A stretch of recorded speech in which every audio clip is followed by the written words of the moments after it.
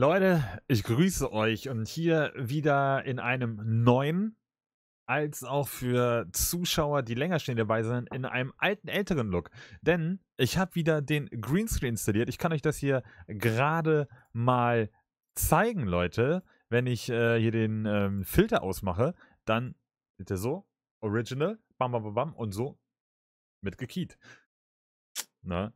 Und das auch passend zum Thema, denn Rapala goes green.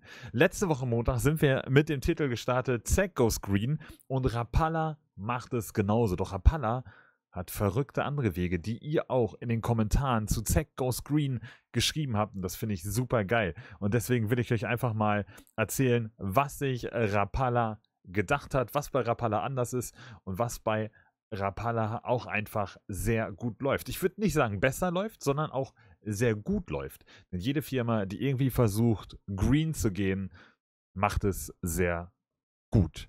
Denn 2020, also vor zwei Jahren circa, legte Rapala schon eine Roadmap vor, wie sie ihre Nachhaltigkeit über die nächsten Jahre, also in Zukunft, verbessern kann und festigen kann. Auf diesen Nachhaltigkeitsplan folgen nun Taten. So werden zum Beispiel die neuen Flash X-Köder, das Martini-Messer, als auch das Recycling Monophil von Suffix in komplett biologisch abbaubarem Karton geliefert. So wird die Version von Rapala, umweltfreundliche Verpackung zu schaffen, langsam Realität. Und das, was ihr auch im letzten Video geschrieben habt, und manche meinen so, oh, ich kann es doch überhaupt nicht verstehen, warum in Angelläden überhaupt noch Verpackungen angeboten werden? Warum kann ich mir nicht einfach sagen, hey, diesen Köder will ich und warum, warum muss ich dann noch die Verpackung mitnehmen? Oder warum gibt es in Angelehnen überhaupt noch so Verpackungen? Und beim Martini-Messer wird dazu schon ein Schritt gegangen, dass man selbst entscheiden kann, ob man das Messer mit Verpackung nach Hause nehmen will oder auch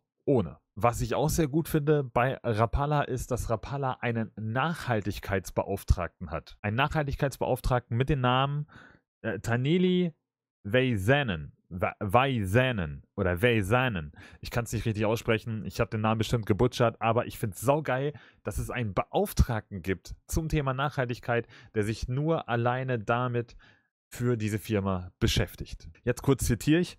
Plastik wird nur noch dort verwendet, wo es absolut nötig ist, zum Beispiel in Futterverpackungen von Dynamite Bites, aber auch dort wird schon mit recycelbarem Kunststoff gearbeitet und man arbeitet hart daran, auch Futterverpackungen ökologischer zu gestalten. Und diese Bemühungen sind halt ein erster Schritt und noch viele weitere werden folgen. Rapala hat jetzt nicht so die komplette Roadmap aufgelistet, aber ist schon stark, was da auf jeden Fall kommt und kommen wird. Die ersten drei neuen Köder ohne Plastikverpackung sollen sein die Löffelblinker Nauvo, Hamaya und Kalan. Und auch, wie oben schon geschrieben, bei den Flash X-Kögern, auch bei den Flash X-Wobblern ist es gelungen, auf Plastik zu verzichten. Und wie wir das auch bei Zeck gesehen haben, mit der Zange, Schere, was es sein sollte, sind die Verpackungen dann so ein Design, dass man die Produkte nicht nur sehen kann, sondern auch berühren kann. Und auch das sage ich mal so, fördert häufig die Kaufentscheidung des Kunden. Nicht nur angucken, sondern hey, wie ist der geformt, äh, wie fühlt sich der an, äh, wie bewegt er sich und so. Das kann man dann alles bei den neuen Verpackungen sehen. Und natürlich ist auch dem Fachhandel damit geholfen, denn Papier kann man leichter entsorgen als Plastik. Vor allem, wenn man so viel hat wie alleine wie die Fachhandelmärkte, weil dann muss man meistens schon kompletten Abtransport bestellen und äh, bei Papier ist es halt einfach nur Papier. Also ich finde es immer geil. Irgendwer hat auch in den Kommentaren geschrieben, dass man sich immer mehr freut, wie Firmen immer mehr weiter green gehen und das finde ich auch einfach stark und deswegen ist es mir auch ein Anliegen, immer wieder darüber zu berichten. Es gibt schon Firmen, die machen das schon lange und geben sich Mühe, immer wieder dort den nächsten Weg zu gehen. Wie ihr auch schon geschrieben habt, Moby Softbaits zum Beispiel, auch ein Fischerino ist damit am Start, ein Flexifix und wie sie nicht alle heißen. Aber jetzt sieht auch ein Rapala nach und das finde ich sehr stark, wenn, wie ich im letzten Video schon gesagt habe, wenn große Firmen einfach auch nachziehen. In dem Sinne, Leute, ich freue mich auch wieder, dass ich hier auch wieder ein bisschen green geworden bin.